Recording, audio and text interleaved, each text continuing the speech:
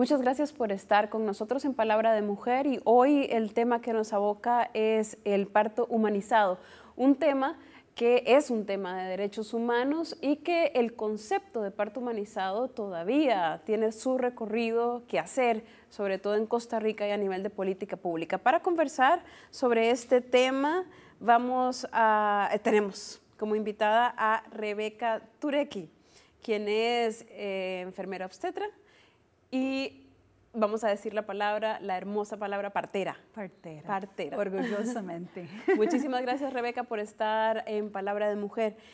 Vamos a dedicar este, los primeros minutos a entender qué es el parto humanizado.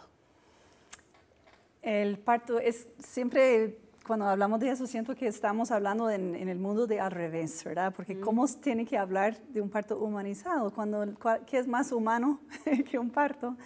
¿Verdad? La humanidad y el nacimiento de la humanidad. Pero este es un movimiento que tuvimos que empezar hace más o menos 20 años, eh, cuando el modelo médico ya tomó tanta fuerza eh, que llevó la experiencia de parto a, un extremo medicalizado. ¿verdad? Ya, ya el parto no era eh, una experiencia de una mujer dentro de su ambiente de familia, pareja, con la partera de la comunidad, ¿verdad? alrededor de un grupo de mujeres de apoyo, donde era una experiencia dentro de la vida normal, normal. Eh, cuando, cuando la profesión médica empezó, fue puros hombres, y, ese, y esa experiencia muy de mujer se, se, transformó por ojos de hombres, ¿verdad? Los primeros médicos. Cuéntenos de Mamasol. Usted representa a esta organización, Mamasol. Mamasol. Mamasol, que empezó a trabajar hace en, a inicios del año 2000. Exactamente. Casi dos décadas de estar trabajando en pro del parto humanizado. En pro del parto humanizado. Lo que vimos era un modelo... Eh, practicado aquí en las instituciones en Costa Rica demasiado, demasiado medicalizado, demasiado eh, violente eh, hacia las mujeres, ¿verdad? Realmente triste, traumatizante. Y entonces el movimiento era junto con muchos otros países en Centroamérica y Latinoamérica, no es solo en Costa Rica, ¿verdad? Fue el mismo momento que grupos feministas Em, en muchos países eh, lanzó esa misma campaña cultural para, para volver esa experiencia em, a, una experiencia más positiva, humana, sana, segura eh, para la mujer. Es muy posible que muchas mujeres en Costa Rica, porque no lo han experimentado, no sepan lo que es un parto humanizado en experiencia propia. 30, 40, 50 años de, vivir un proceso, partos, así como usted los describe. Em, doloroso, ¿Qué es que se siente tener una experiencia de un parto humanizado? Se siente tranquila, se siente orgullosa, se siente fuerte, se siente confianza. Em, una mujer que, que desde un principio del embarazo se siente el apoyo y el respeto alrededor, eh, que se siente un amor incondicional realmente de, de los que están alrededor, un aprecio. Em, la mujer vive la experiencia como debe ser, una transformación personal donde uno se aprende de su propia fuerza. E, eso es, eso es algo de las cosas más tristes para mí, además de una intervención y otra intervención y otra intervención que, em, que la mayoría de las mujeres experimenta en un parto medicalizado. Em, eh, eso roba mucha la confianza en su propio cuerpo, ¿verdad? Eso roba la experiencia de empoderamiento y em, transformación que yo veo constantemente en un parto humanizado, digamos. Eh, la mujer a través de esa experiencia conoce algo en ella que nunca ha experimentado antes, mm. muchas veces, y se transforma por todo el resto de la vida. ¿Verdad? Ya, ya de una vez que uno se siente... Hablemos de esa transformación. Eh, ¿Cuáles son las ventajas de esa transformación que vive una mujer que tiene la experiencia de un parto humanizado eh, para ella, después de esa experiencia y para su bebé? Hace una gran diferencia y yo creo que eso es el diseño natural, ¿verdad? Primero, el parto normal, fisiológico, está cargado de hormonas, la oxitocina, eh, que es una hormona poderosísima que nos hace enamorarnos de nuestros bebés. Entonces, primero, eh, nuestro comportamiento como mamá eh, está mm, levantado con tanto amor, hacemos cualquier cosa para nuestros bebés y con ganas, ¿verdad? Esa oxitocina viene de, solo en el caso de un parto natural, fisiológico. luego, durante ese proceso largo y duro de un parto, la mujer tiene que, mm, tiene que conocer una parte de ella que no va a olvidar nunca. Después de eso va a sentir capaz en una forma, va a tener su voz más fuerte, va a tener más poder personal. Entonces, en sus relaciones con su pareja, en sus relaciones en la comunidad, va a sentir capaz de tomar decisiones. Es, una, es un proceso de empoderamiento que muchas mujeres, especialmente en Latinoamérica, tal vez no han vivido en toda su niñez. esa, esa, parte de, elevar el autoestima, conocer su fuerza, em, empoderarse es algo que se ve muy poco en, el parto medicalizado, porque ese modelo de parto de una vez trata a la mujer como, como un objeto y el bebé como un producto, ¿verdad? Es muy mecanizado y no hay, no hay una relación de apoyo y comunicación y respeto y, y menos amor, ¿verdad? El, los médicos y enfermeros obstetras en un modelo antiguo eh, aprendieron que tiene que ser frío, ¿verdad? Tiene que tener como cero, una distancia eh, con la paciente, ¿verdad? Una mujer embarazada no es una paciente para mí, eh, es una mujer sana, más bien. Si está embarazada, está sana. Claro. Y no, no estamos tratando pacientes, estamos cuidando a mujeres, guiando a mujeres, apoyando a mujeres. Vamos a ver, Rebeca, eh, ¿cuál ha sido la evolución de Costa Rica en este esfuerzo de parto humanizado durante estas dos décadas que usted lleva trabajando en el tema al volver del próximo segmento?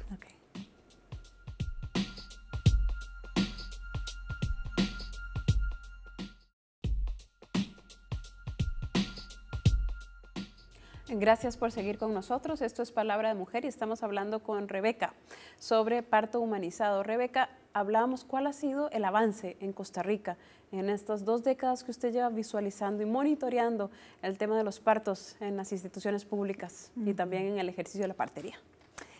Cuando llegué en el año 90, lo que vi en los hospitales públicos era un modelo totalmente anticuado. Prácticas eh, obstétricas que ya hace décadas estaban ya evaluados como eh, dañinos. El famoso piquete, el suero de rutina, el pitocin, eh, rasurado, enemas, obligando a la mujer a acostarse en la posición de letotomía, la cucaracha muerta. todas esas cosas se veían... Tratada como enferma tratado como una enferma, una paciente, donde hay que extraer ese bebé de su cuerpo, ¿verdad? Sin eh, acompañamiento, con un montón de estudiantes que pasaba a tactar y experimentar con su cuerpo sin su consentimiento, ¿verdad? A veces 10 estudiantes de medicina entraron en la sala eh, hablando del partido y del cafecito. ¿Y eso ha cambiado? Lo que veo es que sí, hay, eh, un esfuerzo, ¿verdad?, de por lo menos respetar los derechos humanos básicos de la mujer. Em, en el 2008 trabajé, Mama Sol trabajó muy a la mano de doctora Eliana Quiroz en, la, en una edición nueva de los protocolos, en la guía de atención de obstetricia, ¿verdad?, en maternidad. En ese, en ese año 2008 pasamos línea por línea y quitamos todas esas prácticas obsoletas. Y también quitamos el, la paradigma que era todo a favor de la institución y la jerarquía de los médicos. Y todo ya estaba centrado en la mujer, ¿verdad? La protagonista de esa experiencia. Y todo estaba basado en los derechos humanos universales. Y todo estaba basado en la evidencia científica de las óptimas prácticas de obstetricia, ¿verdad? Era, es realmente los protocolos de la caja que fueron publicados en 2009 son un estándar de oro en el mundo. Eh, estábamos muy, muy emocionados con esa publicación porque ya, ya el protocolo que tiene que seguir de forma obligatoria, ¿verdad? Eh, era ideal, el trato mejor, la mejor práctica. Pero desafortunadamente, 10 años después, todavía no se han cambiado mucho, ¿verdad? Em, recientemente, por, em, por quejas de una generación nueva en, de Costa Rica eh, exigiendo sus derechos, eh, se han implementado nuevas em, formas de, de obligar eh, el hospital de respetar los derechos. Por ejemplo, lo del acompañante. Eso ahora, por dicha, se ve en casi todas las maternidades. Una mujer que entra tiene derecho de un acompañante en todo momento, no solo si tú hizo un curso de preparación y puede comprobar con un certificado, no solo en un momento de la expulsión de bebé, sino en todo momento. Ella tiene que tener su persona de confianza. Ella Ah, no conoce el personal del hospital. Hablemos unos minutos que nos quedan en el próximo segmento para tratar de visualizar qué es el parto humanizado. Eh, cómo empieza, cuál es el acompañamiento que se da desde la preparación del preparto y lo que sigue en el posparto. Es ver una mujer como, como una persona entera, ¿verdad? Con mente, con cuerpo y con espíritu, entera. Y, y, promover la salud de ella, ¿verdad? Eh, ayudar a ella, acompañar a ella a experimentar ese, ese proceso de embarazo, parto y posparto de la forma más positiva. Eh, darle seguridad, respeto, darle chance para, para expresarse, em, para sacar dudas, miedos, eh, acompañarla en la forma más, con más compasión, más amor, más respeto, ¿verdad? Eso es lo que todas las mujeres queremos. Eh, son cambios muy fuertes en todo sentido, ¿verdad? Y lo que necesitamos son expertos eh, en ese que han estado alrededor de embarazos y partos por muchos años, expertos en el tema, que, que puede guiarla, ¿verdad? Y valorar todo lo que se siente. Ella es, la, ella es una autoridad, ella, ella sabe lo que se siente, ella está conectada a su bebé y hay que respetar lo que ella sabe, junto con lo que nosotros sabemos por todos nuestros años de, estudios, ¿verdad? Y dar un acompañamiento durante todo ese proceso, guiándola siempre hacia la salud, hacia la transformación, hacia el em-, empoderamiento. Y luego, ¿qué pasa en el posparto? Luego de haber vivido una experiencia así de enriquecedora en, una, en un parto humanizado, ¿qué pasa en el posparto? ¿Cuáles son las estadísticas? ¿Hay menos depresión posparto, por ejemplo? Mm, de fijo, y eso está mm. muy comprobado. El modelo holístico, el modelo de la partería, eh, donde, donde se promueve la salud y deja la, que el parto fluya fisiológicamente eh, lo, más, lo más natural posible y dándole siempre la palabra, la autonomía a la mujer ella, aunque termina en cesárea, no, hay, no está la misma depresión postparto, porque ella en todo momento sintió poder personal sobre su cuerpo, sobre sus decisiones, eh, se sentía valorada, respetada y, tenía siempre educación, información, consentimiento propio de todo, las, todo lo que estaba pasando. Eh, definitivamente terminan en el posparto eh, con menos intervenciones, menos dolor y menos depresión. ¿Y el bebé? ¿Cuáles son los beneficios del bebé eh, justo después de, igual, nacido? Igual, en el modelo eh, humanista, el, bebé durante el embarazo tampoco no, se siente ese estrés, esa presión, eh, no está expuesta a un montón de intervenciones, ultrasonidos, es como la, uno durante el, proceso, de proceso de embarazo, además de promover salud física, están también trabajando el manejo de estrés, la conexión amorosa con su bebé, ¿verdad? Para que su bebé durante esos meses se siente ese amor, esa bienvenida, esa, gran, esa salud, ¿verdad? Y nacen em, y no hay separación también. Eso es un logro muy lindo que mm. la caja ha implementado hace poquito. Se llama la, hora de oro, ¿verdad? Vamos a retomar eso en el siguiente segmento. Estamos conversando con Rebeca Tureki, enfermera obstetra, sobre parto humanizado.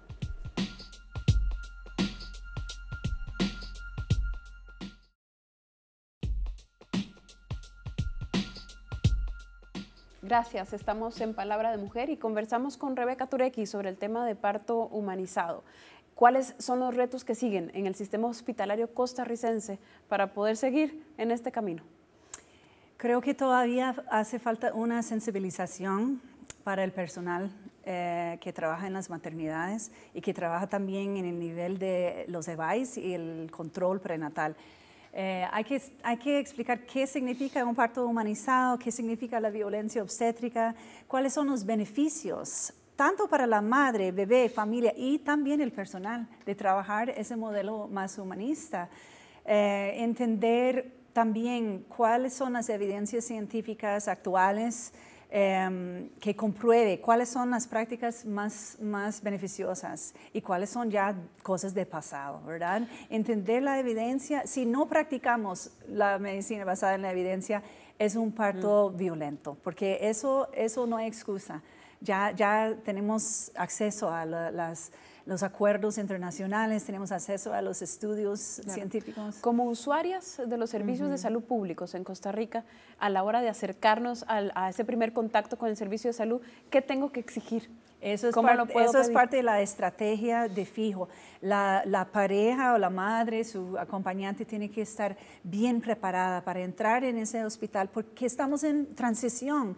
Todavía el, personal quiere cambiar, están obligados a cambiar, los protocolos exigen cambio, pero no saben cómo. Entonces le toca también a las parejas invertir su tiempo en la preparación, conocer sus derechos, conocer eh, las diferentes posiciones, las técnicas de respiración, técnicas de acompañamiento, ¿verdad? Y que entran ya em, con información, con práctica y con conocimiento de sus derechos para poder trabajar juntos en el proceso empoderadas y con muchas veces las mujeres son los que dan el, el, ejemplo al personal, porque el personal no sabe cómo, cómo es un parto de cuclillas o de cuatro puntos.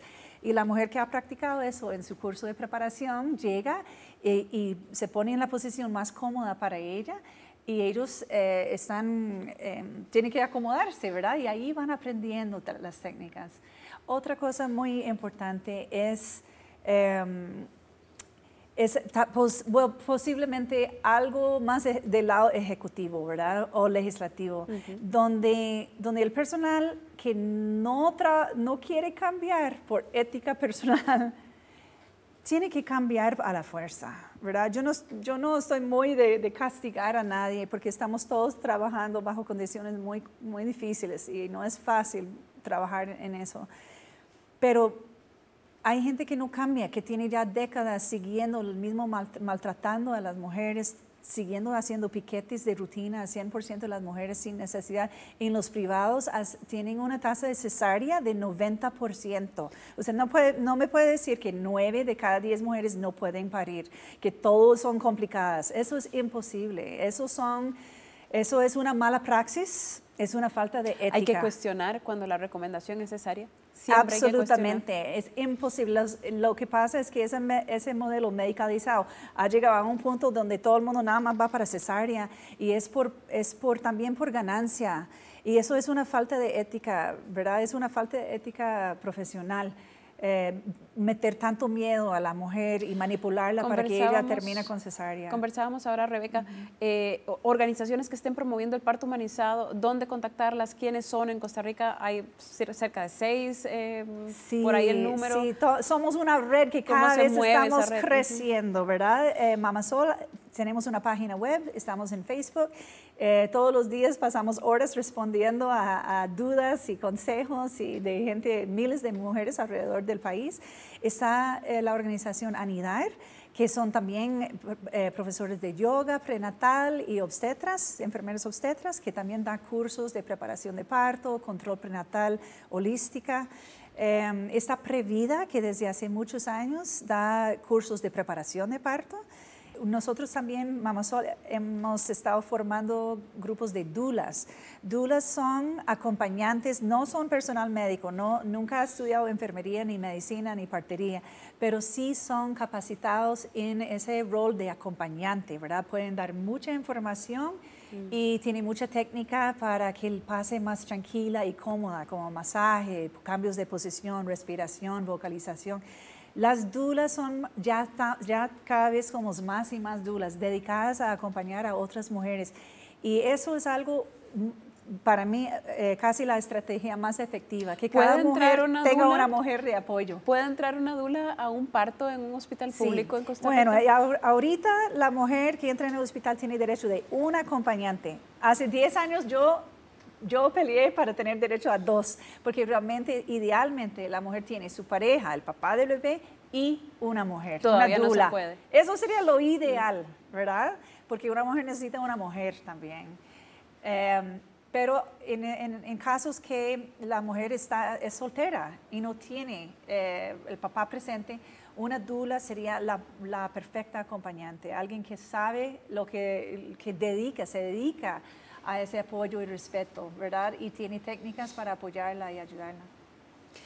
El- seguimos con el parto, el parto humanizado y el sistema hospitalario. ¿Falta legislación para este proteger el tema? parto humanizado. Eso, eh, a eso es- yo me refiero. Yo siento que sí, porque ya tenemos 20 años en eso, ¿verdad? El cambio es muy, muy lento. Yo entendí que, que aquí en Costa Rica duró 40 años para que las mujeres ganen el voto. ¿Verdad? Que a los 20 años todavía la mayoría decían, ah, no, no, no, no, pero a los 40 años era el cambio tan, eh, el cambio cultural había pasado que, que todo el mundo más bien tenía vergüenza, que cómo es posible que no permitimos las mujeres. Yo espero que en 20 años ese modelo de tratar las mujeres en el parto a- así como si fueran eh, objetos, ¿verdad? Va a ser algo de vergüenza en el futuro, ¿verdad? Nuestras nie- nietas, por ejemplo, Que así sea. van a, van a, vamos a hablar de eso como cómo es posible que obligamos a las mujeres a acostar a- boca arriba y con instrumentos y drogas y a- así extrayendo bebés, ¿verdad? Eso va a ser algo de vergüenza cultural, yo estoy segura. Pero ¿cómo podemos mover eso ya, verdad? El cambio no tiene que ser tan lento, puede cambiar de hoy en la mañana a hoy en la tarde.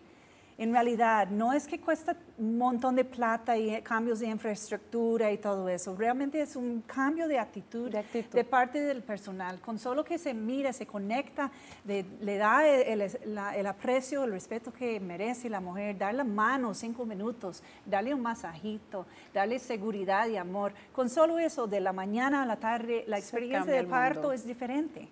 Muchísimas gracias, Rebeca Tureki, partera y también enfermera obstreta. Y hablamos en este programa sobre el tema de parto humanizado. Y tengo que hacer una mención obligada a Natalia del Valle, este, Tula, este, de la organización Anidar en Costa Rica, que estuvo eh, previo a iniciar el programa, pero que no se pudo quedar porque justo empezó una de sus eh, señoras a tener, un- a, ten- a tener el bebé, así que tuvo que salir, pero bueno, hacemos mención justa para ella que quiso participar de esta conversación. Muchísimas gracias, Mucho Rebeca. gusto, gracias. Y nos despedimos hasta aquí el programa de Palabra de Mujer, invitándolos cordialmente a nuestra próxima edición.